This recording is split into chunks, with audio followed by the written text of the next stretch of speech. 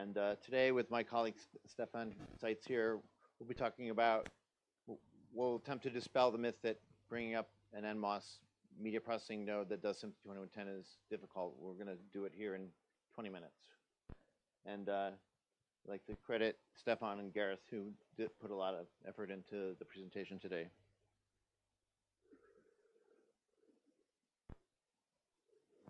So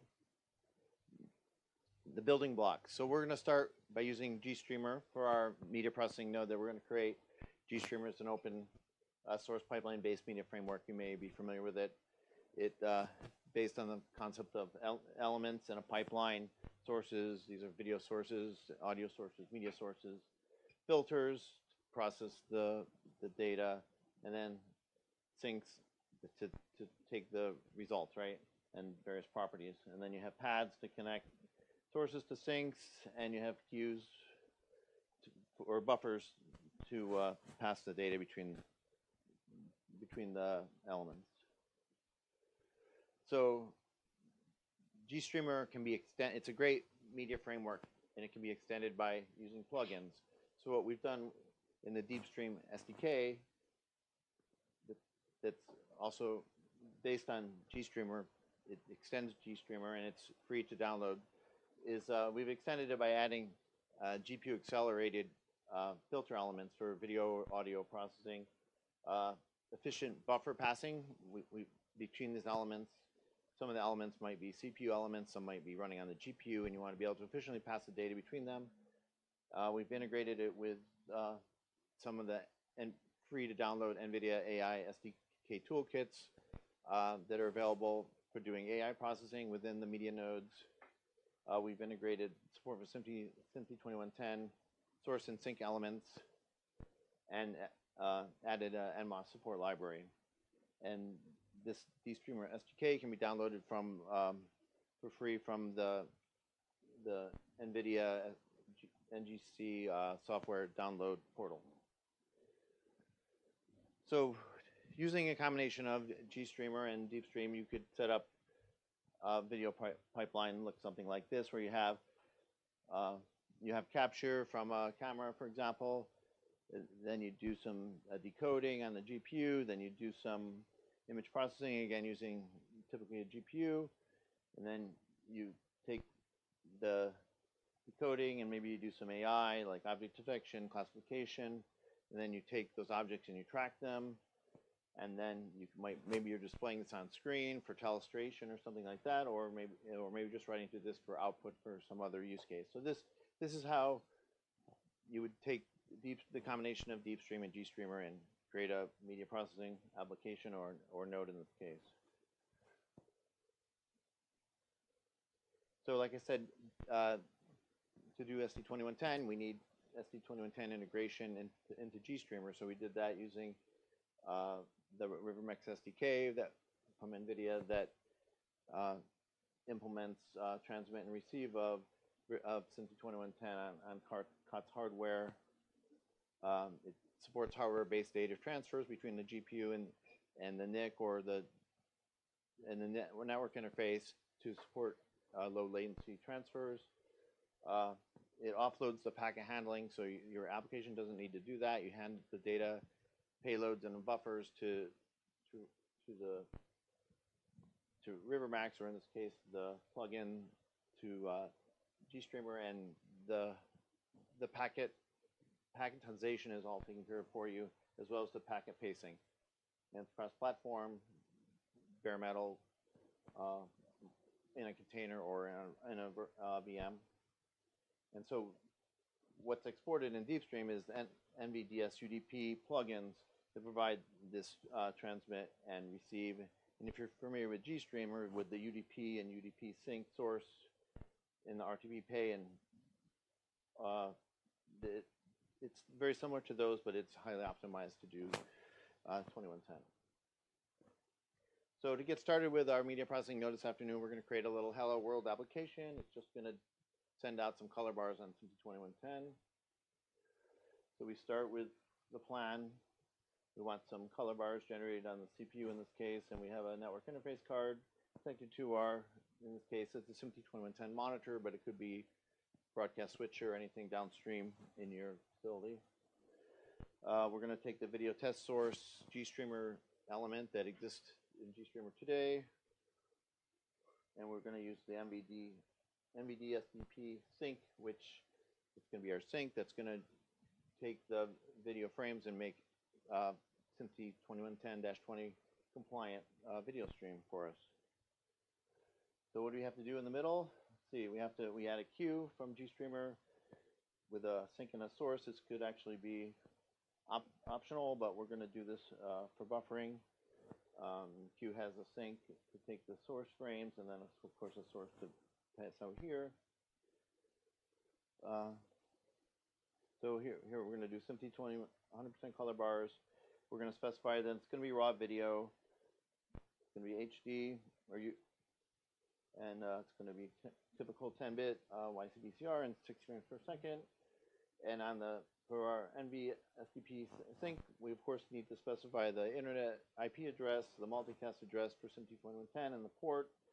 And these are things that would you would might get from an SDP file, but in this case, we're going to do the low code approach, and we're just going to specify all this on the command line with a with a command like this. So we here we learn a lot. GStreamer, here's our video test source element from GStreamer. Here's the parameters. Put in a queue. Here's our plugin NV SDP sink from DeepStreamer, and here's the interface and the, the multicast address and the port. And, and voila, we have a we have our first multimedia processing node. And we can check if we look on the fabric, the SMPTE 2110 input, we can see that it's compliant. So the first step of creating this media processing node is done. We have our SMPTE 2110 uh, working. So now the next step is to add NMOS, of course, which is very important. And thanks to Rob and the guys from Sony for giving a great introduction to NMOS and overview of the current state. We'll take it from there and show you how to add NMOS into this simple media processing node. And Stefan will take it from here. Hello, thank you. Um, my name is Stefan Seitz. Um, I'm from NVIDIA Developer Technology. We are a small team uh, in Germany for um, helping partners adopt video and AI technologies by NVIDIA. Um, as uh, Tom said, we um, will now add NMOS to our um, application. And for that, DeepStream actually includes a reference application that is fully open source that shows you how how to use our wrapper library around NMOS CPP to configure NMOS uh, node with senders. Oh, thank you. Senders and receivers based on uh, SDP descriptions, and also on how you would handle the NMOS activation callbacks in this application. I must say this is a full-scale application that also uh, sets up a GStreamer pipeline that does um, AI processing on video and visualizes the result. And the result is then sent out via SMPTE 2110. Um, as I said, it's a full-scale application. It will first set up a GStreamer pipeline as we saw before on command line. Uh, but this uh, application will do it on in a C++ uh, um, example file. And we are using NVDS NMOS to set up the NMOS node, and we are registering our callback to, uh, to set up a sender, and the NMOS activation callback, we will handle them to reconfigure our pipeline and to um, yeah, activate our UDP sink to send out SMPTE-110 to the multicast address we are supposed to send to.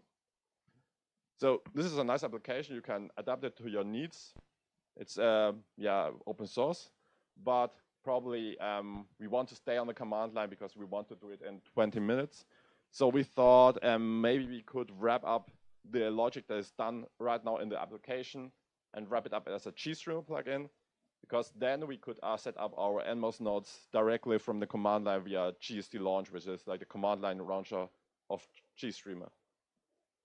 So we are now for ready for Hello World 2.0. Let's set up the requirements for that. So we want to have it NMOS capable.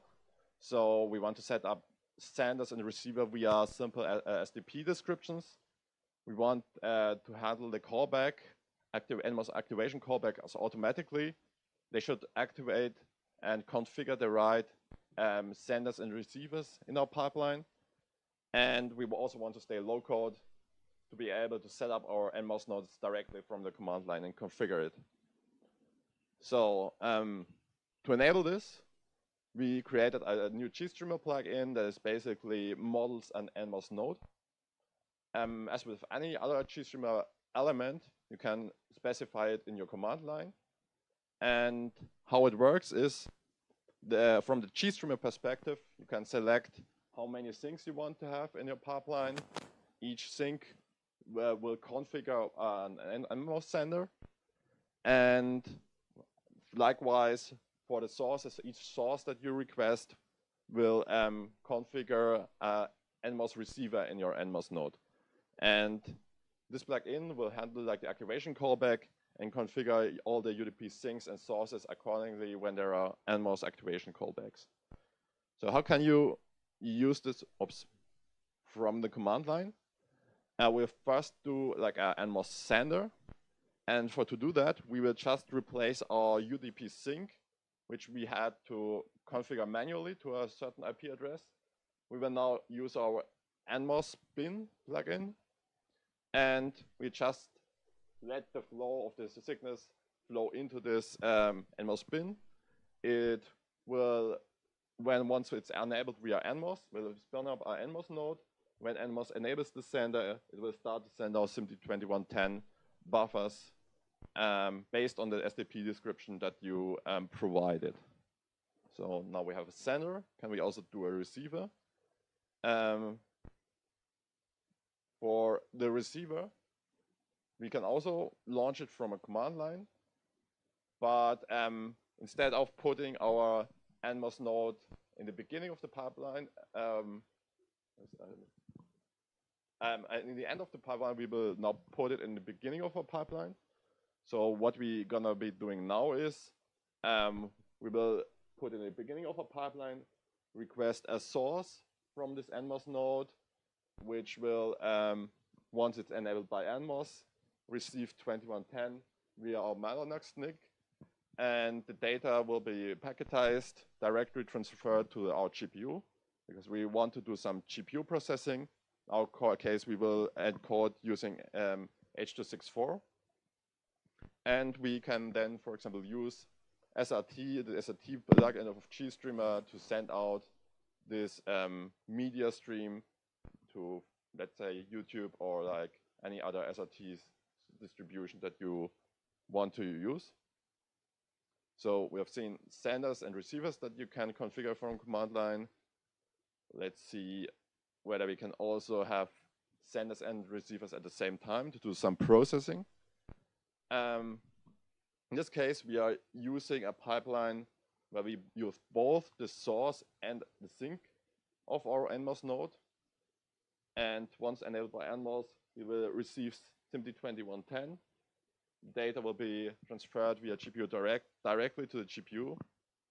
We will then send our pipeline to NV Video Convert, which is a convenient scaler, cropper, rotator, video converter on the GPU. For this pipeline, we will just specify rotate 180 degrees, which will, on the GPU, flip our video. We'll then send it back to NMOS bin and function as an NMOS sender to send out SMPTE 2110 um, yeah, as a, your outgoing connection. Um, as I said, you can all do this from command line, but also use the plugin in your application.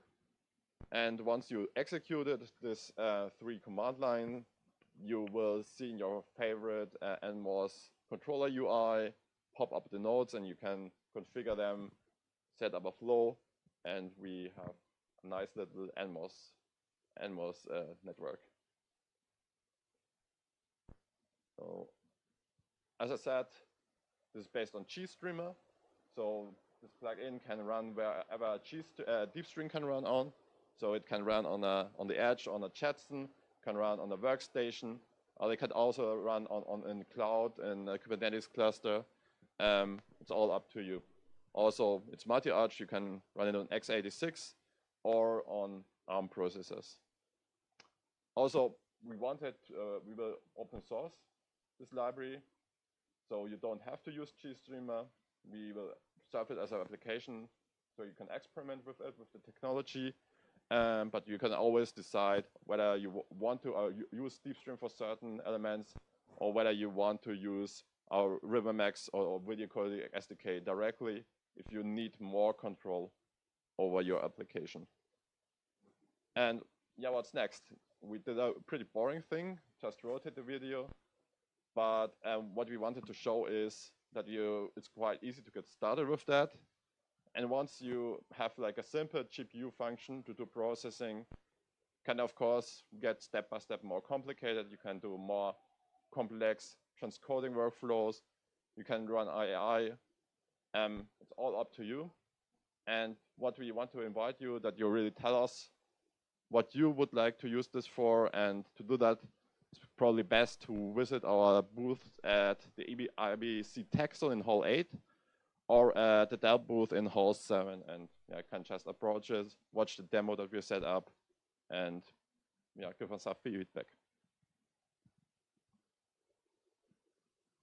Have we time for questions?